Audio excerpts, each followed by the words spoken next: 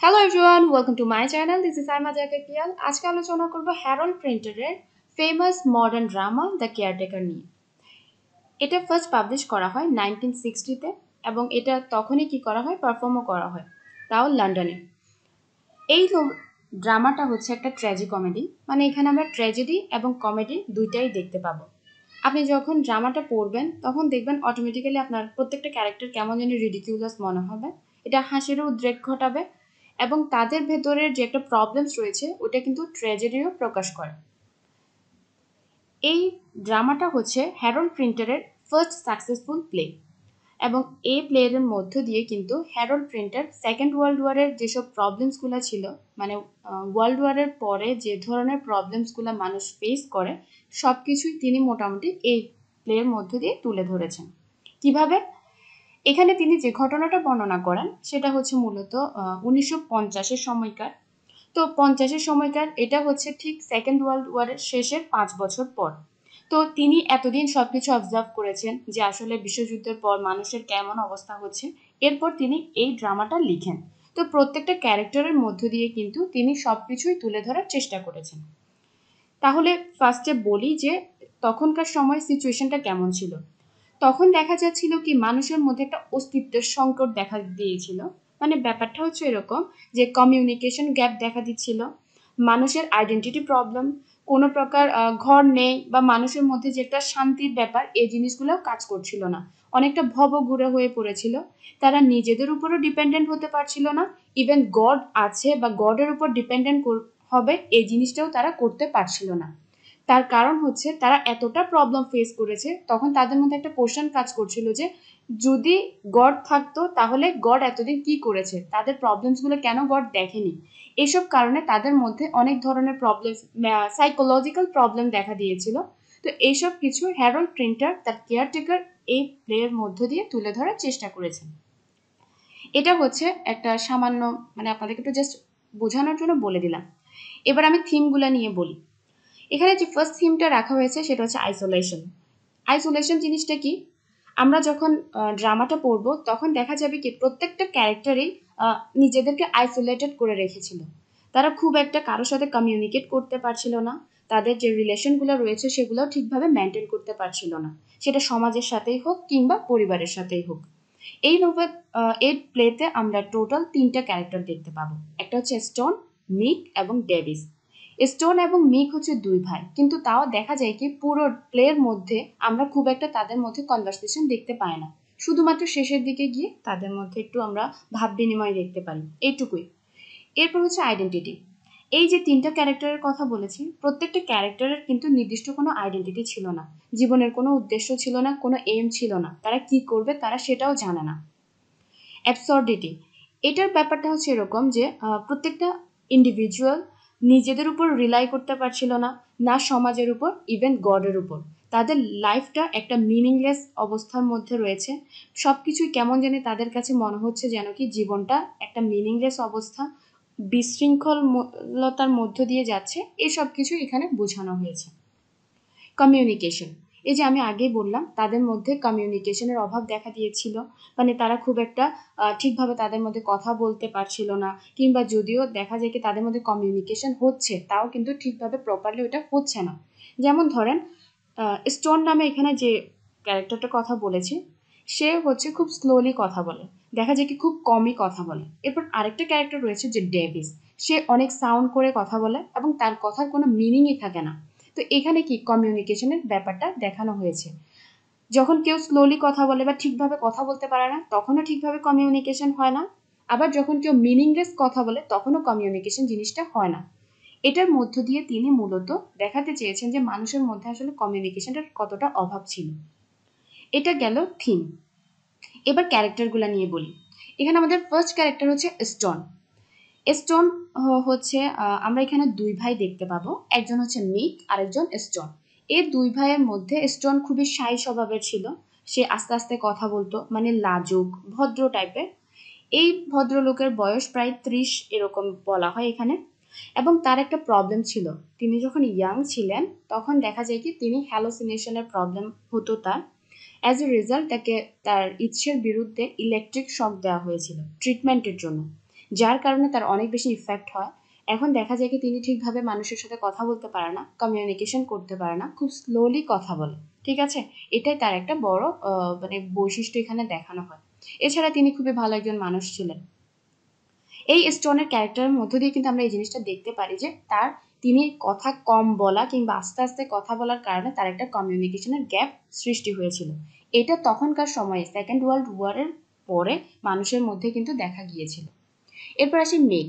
এটা হচ্ছে তার ছোট ভাই, যার বয়স টোয়েন্টি ফাইভ সে খুবই ইন্টেলিজেন্ট এবং অ্যাম্বিশাস ছিল এবং কিছুটা মিস্ট্রিয়াস এবং কমপ্লেক্স ক্যারেক্টারও এরপর আসি ডেভিস এই ভদ্রলোকের সাথে ওই দুইজন ক্যারেক্টারের কোনো মিল মানে কোনো সম্পর্ক নেই। তিনি মূলত হচ্ছে একজন অনেকটা হচ্ছে যারা ভব ঘুরে হয়, এদিক এদিক ঘুরে, এরকম একটা ক্যারেক্টার যার বয়স ষাটের কাছাকাছি। যিনি খুবই লাউডলি কথা বলতো, নিজে অনেক বেশি কনফিডেন্ট অ্যারোগ্যান্ট এরকম একজন ক্যারেক্টার ছিল। এবং কথা যাই বলুক না কেন, যেটা কি খুব একটা মিনিংফুল কথা তিনি বলতেন না। আর নিজের দোষ খুব একটা স্বীকার করতেন না। আর এই ভদ্রলোকের একটা বৈশিষ্ট্য হচ্ছে, তিনি ব্ল্যাক পিপলদেরকে অনেক বেশি হেট করতেন। মানে রেসিজম যাকে বলা হয়, তিনি রেসিস্ট ছিলেন।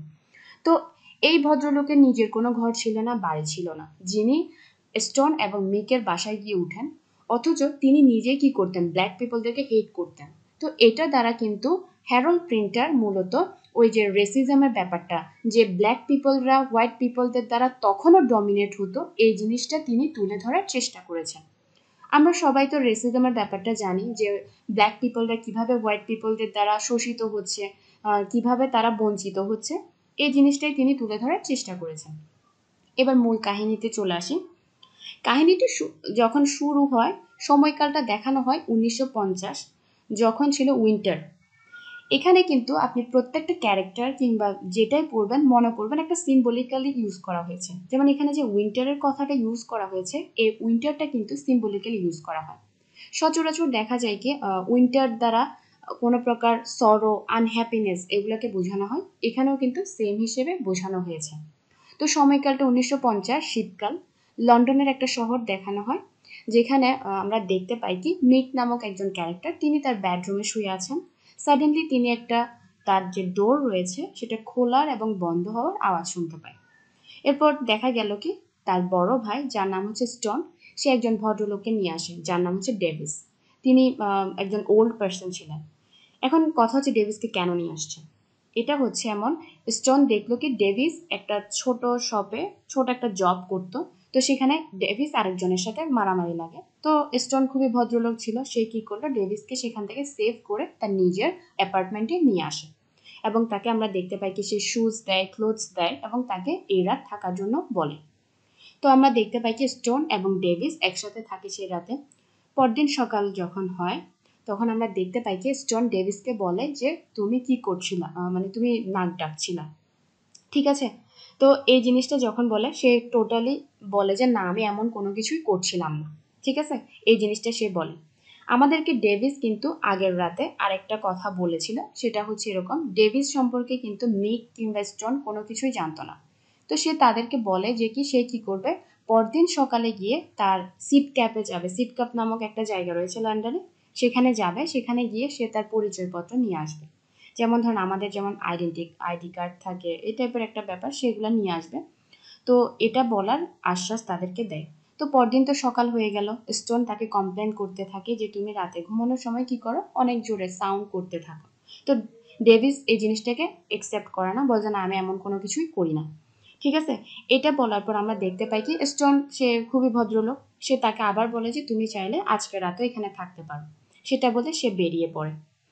আমরা এরপরে দেখতে পাই কি এই ডেভিস ক্যারেক্টারটা একটু কেমন যেন মিস্ট্রিয়াস সে আমাদেরকে দেখ, আমরা দেখব কি সে চিন্তা করছে এখন, সে তার স্টোনের পুরো ঘরটাকে অনেকটা কি জানি খোঁজাখুঁজি শুরু করে। তো এরপরে এটা মিক দেখে ফেলে, তো মিক তাড়াতাড়ি করে রুমে আসলো এবং তাকে বলল কি, তুমি কি করতে চাইছো বা তুমি কি খুঁজছো? তো এটা বলার পর ডেভিস এবং মিকের সাথে একটা ধস্তাধস্তি হয়ে যায় আর কি। মানে তারা দুজন খুবই মারামারি লেগে যায় এমন একটা সিচুয়েশন তো এরপর আমরা দেখতে পাই কি নেম মিক ডেভিসকে মানে বলে যে, তুমি চাইলে কি করতে পারো? আমাদের এই অ্যাপার্টমেন্টটাতে ভাড়া নিয়ে থাকতে পারো। এটা বলে ডেভিসকে। এরই মধ্যে স্টোন কিন্তু বাসায় এসে পড়ে। তো বাসায় যখন সে আসে, সে সাথে করে কি করে? একটা ব্যাগ নিয়ে আসে স্টোন। এখন ব্যাগটা কার? ব্যাগটা স্টোন বলে যে, এটা ডেভিসের ব্যাগ, যেখানে তার কাগজপত্র, জিনিসপত্র রয়েছে। কিন্তু ডেভিস যখন ব্যাগটা দেখে, সে বলে যে, না, এটা আমার না। তো সে ডেভিস খুব বেশি বিরক্ত বোধ করে। যদিও ডেভিস স্টোনের বাসায় থাকে, তাও ডেভিস দেখা যায় কি স্টোনের অ্যাক্টিভিটিতে বিরক্ত হচ্ছে। এরপর আমরা দেখতে পাই কি আমাদের স্টোন খুবই ভালো ব্যক্তি। তো তিনি তার যে অ্যাপার্টমেন্টে রয়েছে, সেটা কিন্তু খুবই জরাজীর্ণ একটা অবস্থা। তার কারণ হচ্ছে, তারা দুই ভাই থাকে সো এত বেশি গোছানো ছিল না। তো তিনি চাইছেন যে, তার ছোট ভাই মিকের জন্য অ্যাপার্টমেন্টটা ডেকোর করতে। তো এই দায়িত্বটা তিনি ডেভিসকে দিতে চান। তো ডেভিস কিন্তু খুব একটা পারফেক্ট পার্সন ছিলেন না বা সে কিন্তু ডেকোরেট করতে পারবে এমন মানুষও ছিলেন না। ডেভিসকে যখন প্রস্তাবটা দেওয়া হয় ডেভিস কিছুটা ইতস্ত করতে থাকে। তো আমরা দেখতে পাই কি ডেভিস চিন্তা করে আসলে যদিও সে কাজটা পারে না, কিন্তু তাও তার কিন্তু থাকার কোনো জায়গা নেই। সো সে চিন্তা করল কি, এই কাজটা সে নিয়ে নেবে। যেমনে তেমনে হোক সে জিনিসটাকে কি করবে ম্যানেজ করে নেবে। ঠিক আছে? তার এতে করে তার একটা কি হয়ে যাবে? থাকার জায়গাও হয়ে যাবে। তো এখন কি? আমরা দেখতে পাই কি স্টোন ডেভিসকে কেয়ারটেকারের দায়িত্ব দিয়ে দিল। এই কেয়ারটেকারের দায়িত্ব দেওয়া থেকেই কিন্তু আমাদের এই প্লের টাইটেলটা রাখা হয়েছে দ্য কেয়ারটেকার ঠিক আছে? এরপর আমরা দেখতে পাই পরদিন মানে সেই দিন রাত্রেবেলা ডেভিস তো ঘুমিয়ে পড়ল। আমাদের এই মেক ভদ্রলোক, সে কিন্তু একটু নটি স্বভাবের ছিল। সে কি করল? ভ্যাকিউম ক্লিনার দিয়ে রাতের বেলা ডেভিসকে ভয় দেখানো শুরু করল। মানে বিভিন্ন ধরনের অদ্ভুত অদ্ভুত কাজ কারবার করতে লাগল ডেভিসকে বিরক্ত করার জন্য। ঠিক আছে? রাত কেটে গেল, সকাল হলো। সকাল হলো আর ডেভিসকে সে এসে বলল কি, তুমি চাইলে আমাদের বাসার কেয়ারটেকার হতে পারো। মানে অদ্ভুত না রাত্রে ভয় লাগাইছে, সকালে এসে বলে কেয়ারটেকার হবা। আচ্ছা যাই হোক। এরপর আমরা দেখতে পাই কি, ডেভিস কিছুটা প্রবলেম মানে কি একটা ডেলিমাতে পড়ে যায়। কি রে, কালকে রাতে তো বড় ভাই বলল আমাকে কেয়ারটেকার হতে। এখন আবার এসে ছোট ভাই আমাকে বলছে যে কেয়ারটেকার হতে। তো তার কিছুটা মানে এই বাসার প্রকৃত মালিককে, সেটা নিয়ে তার মনে একটা দ্বিধা সৃষ্টি হয়ে যায়। তো সে মিককে আক্স করল যে আসলে এই বাসার মালিককে সেটা যখন আক্স করে, তো দেখা যায় কি মিক অনেক বেশি রেগে যায়। রেগে যাওয়ার পর সে রেগে গিয়ে বলে কি, এই বাসার মালিক আমি। তো মিক এবার কি করে, তার তো মানে রেগে গিয়েছে, সে এখন কি ডেভিসকে পরাজিত করতে চায় তাই সে ডেভিসকে বলে যে, তুমি তো বলছিলা যে তোমার কাগজপত্র আনবা। তুমি এখনও সিট কাপে যাও নাই কেন? তোমার কাগজপত্র আনো নাই কেন? বিভিন্ন ধরনের কোশ্চেন করতে থাকে। এরপর ডেভিস বলে যে, না, ঠিক আছে, আমি আগামী দিন যাব। গিয়ে কি করব? সিট কাপে গিয়ে আমার জিনিসপত্র নিয়ে আসব। এটা প্রমিস ডেভিস মেককে করে। এরপর পরদিন সকালবেলা হলো। ডেভিস তো বের হওয়ার কথা, তারা কাগজপত্র আনতে। কিন্তু এখন সে মানে কিছুটা গড়িমসি করা স্টার্ট করল। বলতেছে যে ওয়েদার ভালো না, আমি যেতে পারব না। এরকম একটা অবস্থা। এরই মাঝখানে স্টোন কিন্তু এসব কিছু কোনো কিছুই জানে না। স্টোন আসছে। তার কারণ হচ্ছে স্টোন এবং মিকের মধ্যে কিন্তু কোনো কনভারসেশন হয় না। যদিও তারা ভাই একই বাসায় থাকে, তাও তাদের মধ্যে কোনো কথাবার্তাই হতো না। তারপর যাই হোক, স্টোন আসলো, এসে সে এখন তার কি পুরোনো দিনের ইতিহাস সব কিছু ডেভিসের সামনে খোলা শুরু করল। আসলে নিজের ব্যক্তিগত কথা কখনো বাইরের মানুষকে বলতে নেই, পরবর্তীতে সেটা কি সে ইউজ করতে থাকে খারাপ কাজে, এটাও ঠিক পরবর্তীতে ডেভিস কিন্তু করে। স্টোন কি বলল? স্টোন বলল কি, সে যখন ইয়াং ছিল, তার হ্যালোসিনেশনের প্রবলেম হতো তারপর তাকে দেখা গেল কি ট্রিটমেন্টের জন্য ইলেকট্রিক শক দেওয়া হয়, যেটা তার ইচ্ছার বিরুদ্ধে ছিল। তো অ্যাজ এ রেজাল্ট কী হলো? সে এখন চিন্তা ভাবনা করে খুব স্লোলি কথা বলে খুব স্লোলি খুব একটা সহজে তার থটসগুলোকে গুছাতে পারে না। এসব কিছু তাকে বলে। এখন প্রায় দুই সপ্তাহ পর দেখানো হয়। দুই সপ্তাহ পর কি হলো? আমাদের এই ডেভিস ভদ্রলোক এখন কি করল? মিকের কাছে গেল, গিয়ে স্টোনের বিরুদ্ধে অভিযোগ করা শুরু করল। অভিযোগটা কীরকম? সে বলে কি স্টোন তাকে ঠিক মতো জিনিসপত্র দিচ্ছে না কাজ করার জন্য এবং ঘুমানোর সময় তাকে কি করে? ইচ্ছে করে জাগিয়ে তুলে বলে যে, তুমি অনেক জোরে জোরে নাক ডাকো। তো এতে করে ডেভিস খুব বেশি রেগে যায় এবং ডেভিস কি করে এখন স্টোনকে পাগল বলে সম্বোধন করে যে, তাকে ইলেকট্রিক শক দেওয়া হয়েছিল, সে একটা পাগল। এসব কিছু বলে মিকের কাছে কমপ্লেন করতে থাকে। তো এগুলো কিন্তু আবার স্টোন শুনে গিয়েছে। তো অ্যাজ এ রেজাল্ট সে কী করল? ডেভিসকে বলল যে কি, আজকে থেকে তোমার আর কেয়ারটেকারগিরি করা লাগবে না, তুমি তোমার জায়গায় চলে যাও। ঠিক আছে? কারণ হচ্ছে কি, তুমি যার বাসায় থাকতেছো, তার বাসায় গিয়ে তার ভাইকেই কমপ্লেন করতেছো তার সম্পর্কে। তো ডেভিসকে তো স্টোন বের করে বের হয়ে যেতে বলল। এখন মিক কিন্তু কিছুটা ভদ্রলোক ছিল ইন্টেলিজেন্ট ছিল। সে সাথে সাথে ডিসিশন নেয়নি। তো মিকের কাছে ডেভিস আবার গেল, গিয়ে বলল যে, তোমার ভাই তো আমাকে কি করছে? তোমার ভাই এখন আমাকে রাখতে চাইছে না, এমন একটা অবস্থা। তো মিক সাথে সাথে ডিসিশন নেয় না।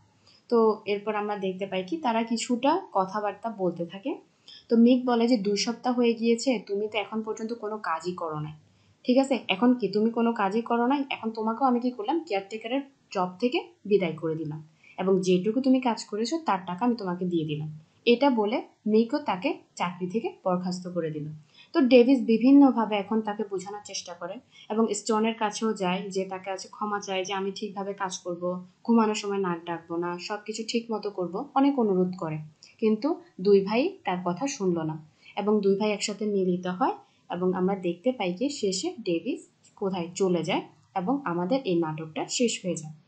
আশা করি বুঝতে পেরেছেন যদিও দুই ভাইয়ের মধ্যে তেমন খুব একটা কনভার্সেশন হয় না। তাও তাদের মধ্যে কি মানে আমরা দেখতে পাই কি মিলটা রয়েছে। ডেভিস চেয়েছিল যদিও তাদের মধ্যে কিছুটা দূরত্ব আনার, কিন্তু সেই জিনিসটা হয় না। আশা করি বুঝতে পেরেছেন ব্যাপারগুলো। ধন্যবাদ সবাইকে।